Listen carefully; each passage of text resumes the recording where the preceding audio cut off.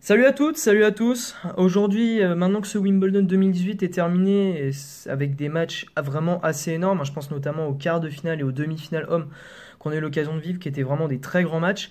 Euh, du coup, ça va être l'occasion pour moi de revenir sur une expérience que j'ai eu l'occasion de vivre pendant ce Wimbledon 2018, hein, puisque j'ai eu l'occasion en fait tout simplement de me rendre euh, directement sur le, dans le stade, dans le stade de, Wimbledon, au Land Tennis English Club. Donc je vais revenir avec vous un petit peu sur cette expérience, donc euh, comment je me suis organisé, euh, comment s'est déroulée la fameuse The Q hein, qu'on entend, qu'on entend tous, les, tous les ans un petit peu, on en entend un petit peu parler tous les ans.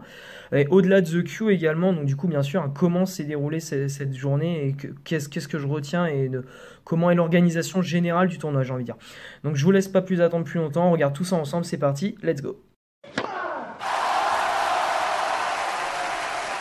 Donc déjà, dans un premier temps, euh, l'organisation, hein, comment on en est arrivé, comment j'en suis arrivé à un petit peu à aller à dire allez tiens si je faisais The Q, bah c'est tout simplement parti sur un coup de tête avec des potes. Hein. j'ai fait ce voyage avec euh, deux autres potes que j'avais eu l'occasion de rencontrer lors d'un dernier stage, euh, qui étaient également eux fans de tennis. Et puis c'est parti tout simplement d'un message con sur une converse messenger en mode les gars est-ce que vous êtes chaud pour aller à Wimbledon, est-ce que vous êtes chaud pour faire The Q? Et tout de suite on s'est dit bah pourquoi pas? Donc ça ça a eu lieu je crois que c'était on était environ à un mois et demi avant le début du tournoi.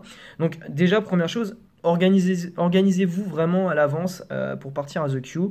Surtout que vous avez un avantage, euh, c'est que, entre guillemets, vous savez un petit peu déjà, vous avez, déjà une petite idée quand même de la répartition des jours hein, euh, pour, pour éventuellement savoir quel joueur vous avez envie d'aller voir, puisque le vainqueur du tournoi commence le premier jour. Donc vous pouvez vous dire que les gens qui, les personnes qui ne sont pas dans la partie de tableau du vainqueur seront le deuxième jour. Et donc en, fonction de ça, et surtout je dis ça par rapport aux fans de Federer, vous pouvez anticiper normalement quel jour jouera Federer et les jours où on ne jouera pas Federer. Donc vraiment essayez de vous essayer d'anticiper un petit peu ça euh, pour vraiment tout de suite euh, organiser votre, euh, voyage.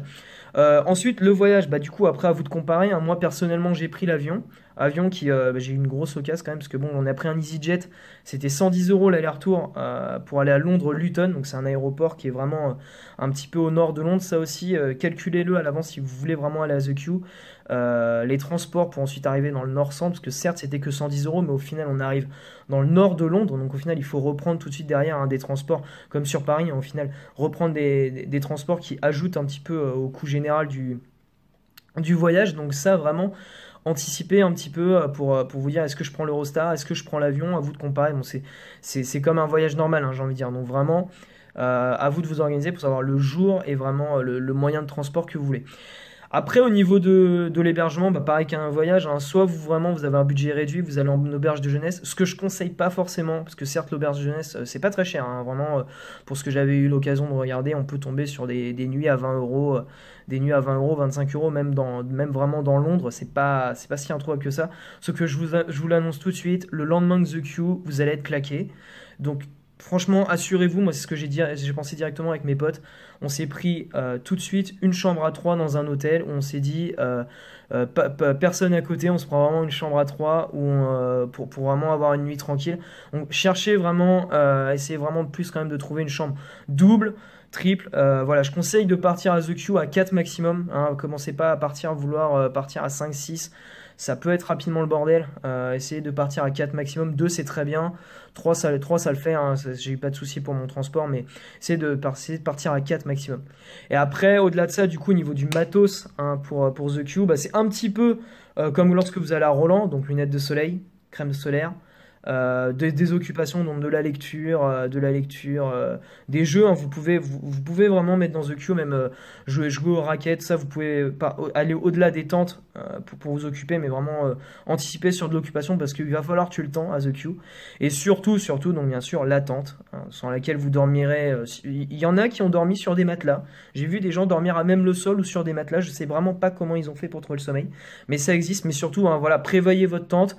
Et, euh, faites des tests avec votre temps, surtout savoir le nombre de personnes et surtout vous n'êtes pas vraiment à l'étroit. Et si vraiment vous avez la motive, éventuellement ramener les matelas de ça, mais ça après ça commence à devenir un petit peu la galère. Donc voilà vraiment un petit peu pour l'organisation générale un petit peu de, The Q. Maintenant je vais rentrer un peu plus dans le vif du sujet, vraiment avec le, voyage, comment vraiment ça s'est déroulé à moi pour, euh, dans ce voyage londonien.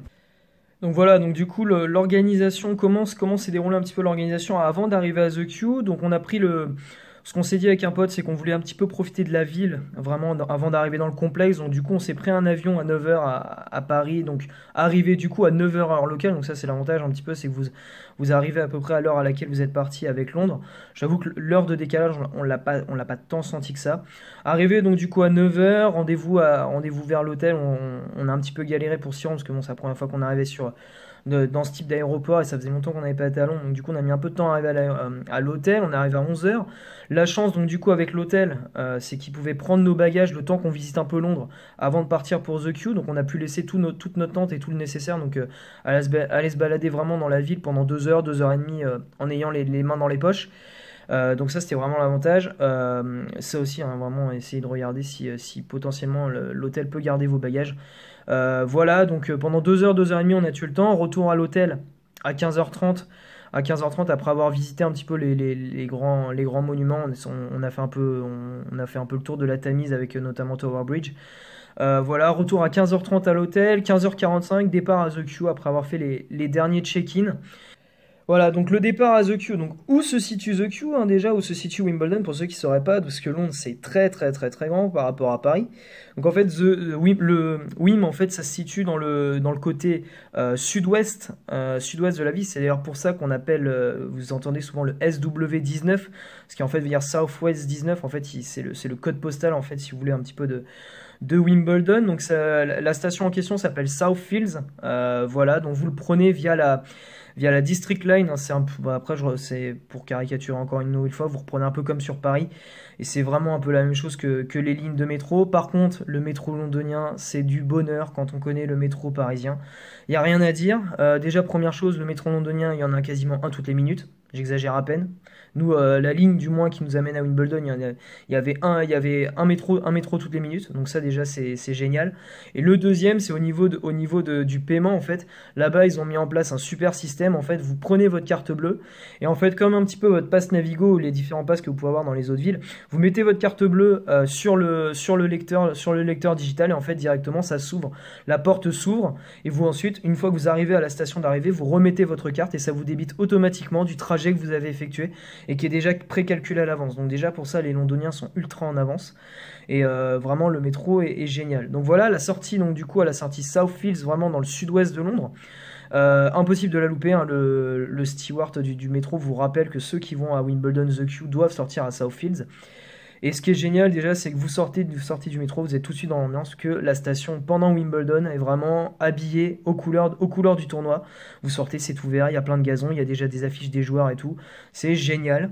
Euh, donc déjà, vous êtes tout de suite dans l'ambiance alors vous venez à peine de sortir du métro. Voilà. ensuite, pour partir à The Q. Euh, pour partir à The Q, c'est très simple, pas du tout de stress. Euh, vous sortez à peine du métro, euh, vous, avez tout de suite les premiers panneaux pour vous dire The Q c'est par là. Donc vous sortez du métro et The Q c'est à peu près à 5 minutes. Vous avez 5 minutes à pied, vous remontez en fait, euh, c'est tout droit. Hein, vous remontez jusqu'à The Q et vraiment l'endroit où vous allez attendre. pendant, vous allez passer votre nuit là-bas. Euh, en plus, vous avez peut-être l'occasion, euh, peut-être potentiellement, de croiser un petit peu des célébrités, parce que certaines célébrités sortent du tournoi et empruntent euh, cette route-là. typiquement, moi, quand on est est ressorti de The Q, j'aurai l'occasion de revenir. On a pu croiser, on a pu croiser Tatiana Golovin qui était avec sa mère et, son enfant. Donc, tu vois, tu, peux un petit peu croiser des, des, personnalités. Et donc après, tu arrives à The Q. Donc là, vraiment, ça y est, tu, as fini et tu, tu commences vraiment à arriver dans l'endroit où tu vas devoir poser ta tente. Donc là, je fais tout de suite déstresser les gens. Ne vous stressez pas quand vous arrivez à The Q. Ce n'est ni The Q n'est ni plus ni moins qu'un grand espace vert. Il n'y a pas de stress à avoir. Vous allez avoir quelques food trucks qui vont avoir, qui vont être, euh, qui vont être sur les, qui vont être aux, alentours, aux alentours des tentes. Et vraiment pas de stress. Vous arrivez tout de suite. On va vous dire en fait, les, si vous voulez, les tentes sont placées par ordre d'arrivée. Hein. vous, allez, euh, vous allez avoir en fait des, bâtons qui sont plantés au centre sur lesquels vous allez avoir marqué K1, K2, K3. Et en fait, ce sont les, rangées des personnes qui arrivent les unes après les autres. Et en fait, où vous vous positionnez, en fait, vous avez une personne qui a vraiment le drapeau avec un Q dessus et qui en fait correspond ni plus ni moins à l'avancée de The Q. Et donc, du coup, à l'endroit où vous allez voir poser votre tente. Donc, vous allez voir, vous allez voir cette personne. Cette personne vous dit la, la personne qui arrive avant vous est juste là. Vous, mettez juste à côté, vous plantez votre tente. On revient vers vous. Donc là, après, vous avez posé votre tente. Et dès que votre tente est posée, après, on vous demande pas tout de suite de la monter. Hein, vous mettez votre tente au sol. Et ensuite, donc du coup, je dirais environ 5-6 minutes après avoir, avoir déposé vos tentes, on va vous donner ce, qui, ce, ce que appellent la cue card. La chose la plus importante, surtout, gardez-la avec vous, ne la perdez jamais. C'est une cue card par personne et en fait, la cue card c'est quoi? Ce n'est ni plus ni moins que votre position officielle dans The Queue et donc du coup, vous, vous pouvez déjà anticiper à peu près quel cours vous allez avoir l'occasion de voir euh, le lendemain. Euh, pour info, le Center Court, il y a 500 places, il y a 500 queuers qui ont accès au Center Court. Et ensuite, le cours numéro 1, c'est entre 500 et 1000, je crois, et au-delà de 1000, après, vous allez avoir le 1, et au-delà de... C'est à peu près, c'est par tranche de 500 à peu près. Au-delà de, 1500, au-delà de 1500, vous aurez les annexes. Euh, mais si vous arrivez dans les, dans les 1500 premiers, ce qui est franchement pas si dur que ça, faut pas vous stresser non plus. Certes, je pense qu'il y a de plus en plus de monde qui va à The Q, mais c'est largement faisable d'arriver dans les 1500. Vous allez pouvoir avoir accès, euh, avoir accès dans aux cours principaux. Aux cours principaux. Pour info, donc du coup, nous on a eu la place 532, euh, si je dis pas de bêtises, en arrivant aux alentours de 16h45. Donc c'est pas infaisable. Hein. Vous voyez qu'on est arrivé. Donc du coup, un jour où Roger ne jouait pas, c'est ce qu'on s'est dit, et je pense que c'est les jours où Roger joue sont beaucoup plus blindés que les jours où Roger ne joue pas. Donc, euh, tandis que nous, on avait quand même du Nadal, du Joko, du Kyrgios, j'aurai l'occasion d'en revenir dessus. Il y avait vraiment du très gros monde le jour où on a été à The Q. Euh, mais donc du coup, on avait accès potentiellement peut-être au Center Court. On n'était pas encore sûr, mais on, allait peut-être avoir le Center Court dans les places disponibles. Voilà, donc maintenant, vous êtes vraiment bien arrivé euh, dans The Q. Maintenant, vous pouvez vraiment euh, prendre du plaisir avec l'atmosphère The Q qui est quand même vraiment spéciale parce que vous êtes entre guillemets qu'entre fans de tennis. Hein. Alors, personnellement, moi, ce qui m'a un petit peu, ce qui m'a un petit peu sauté aux yeux, c'est qu'il y a beaucoup de Britanniques. Moi, j'avais vraiment l'impression quand j'y suis allé, du moins, il y avait énormément de Britanniques. Je m'attendais à beaucoup plus d'étrangers que ça. Alors, du coup, c'était drôle parce que ben, Roger, là-bas, c'est vraiment le roi. Hein. Il, y a, du, il, y a, du, RF de partout. C'est hallucinant. Il y a des tentes RF. J'ai la première fois que j'en voyais, je ne savais pas qu'il y avait des tentes. Enfin, je pense qu'après, c'est une des personnes qui l'ont brandé pour eux, mais j'ai vu des tentes Roger Federer avec le, sigle RF. C'était énorme. Euh, donc voilà, vraiment l'environnement The Q, c'est avant tout des fans de tennis, hein, parce que bon, pour, entre guillemets s'infliger autant d'heures d'attente, faut vraiment être fan de tennis. Euh, déjà, la grande nouvelle, hein, je vous ai dit, la Q card, vous l'avez, maintenant vous la gardez précieusement, vous la mettez dans un sac, vous la mettez où vous voulez, mais surtout vous la gardez. La grande nouvelle, surtout, je pense la meilleure nouvelle quand on est à The Q, c'est qu'on nous a dit tout de suite, on a demandé si c'était possible de ressortir. Et là, tout ça, enfin, on pensait que, personnellement, on pensait pas que ça allait être possible. Et là, les personnes nous ont dit Ah oui, pas de souci, vous pouvez ressortir de The Q, vous pouvez aller faire les magasins dehors, vous pouvez aller, aller chercher à, à, manger si vous avez besoin. Donc, pas de souci. Donc, ça, énorme nouvelle. Euh, ne stressez pas en, rentrant à The Q. Si vous arrivez vraiment en avance, vous pouvez ressortir pour aller chercher, à manger. Si vraiment vous arrivez bah, comme nous hein, en fin d'après-midi pour vraiment optimiser un petit peu votre place. Donc, du coup, bah, tu, vas chercher à, tu vas chercher à manger, tu ressors, t'es es super bien. C'est pas hors de prix du tout. Hein. Même les food trucks qui sont aux alentours des, qui sont autour des tentes sont vraiment pas si chers que ça. Donc profitez-en, ne stressez pas avec votre bouffe. Hein. Vous pouvez y aller. Euh, un petit peu, euh, j'ai pas envie de dire les mains dans les poches, hein, ça se prépare The Q, mais il euh, n'y a, pas besoin de stresser plus que ça. Donc du coup, bah, nous on s'est baladé une heure dehors. Euh, éventuellement, si vous voulez, je le dis entre parenthèses, mais si vous voulez boire un petit peu d'alcool, ça va. Hein, ils sont pas, sont pas trop tolérants là-dessus. Je crois que c'est 6 bouteilles d'alcool, 6 bières par personne. Bon, ça va. Hein, si vous voulez boire un petit peu, bon, le but, en même temps, ça peut vous aider à vous endormir plus facilement, donc n'hésitez pas quand même.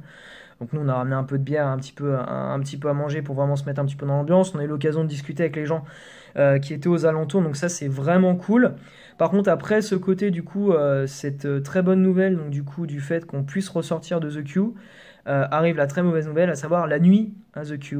Et ça, c'est un cauchemar. Enfin, c'est un cauchemar, j'exagère à peine.